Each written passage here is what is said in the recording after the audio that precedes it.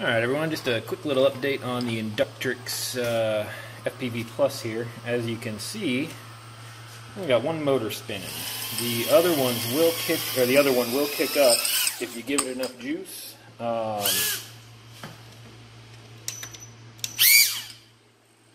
but sitting by itself, um, that motor won't actually start spinning on low voltage or on idle voltage, whatever it sends it there. So um, I know it's not a bad motor because I went ahead and got four new motors from Micro Motor Warehouse. And they are all in in the proper direction, uh, proper slots, all clockwise, counterclockwise, are in the right spots.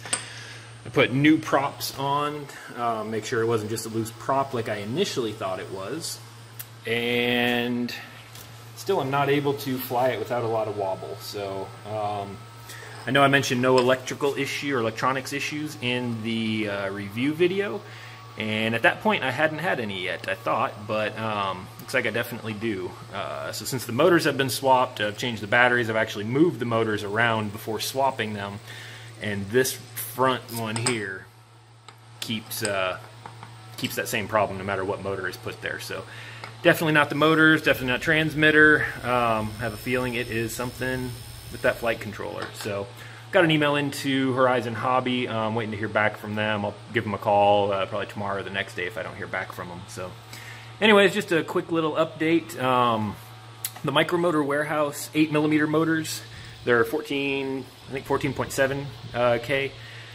They are a really tight fit, but they do fit. Um, it was flexing the, the frame a little to get them in there, but they do go in.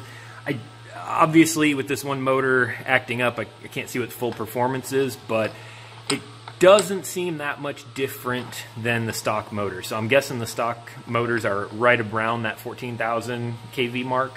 Um, the micromotor ones were 14,700.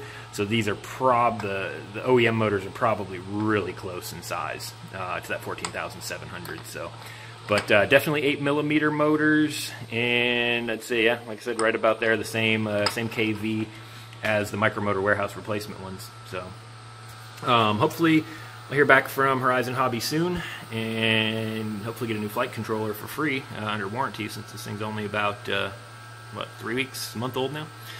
So, all right, thanks for watching, and I'll post an update again once I hear back from Horizon Hobby, let you know how the uh, warranty experience was as well. So y'all take it easy. Thanks.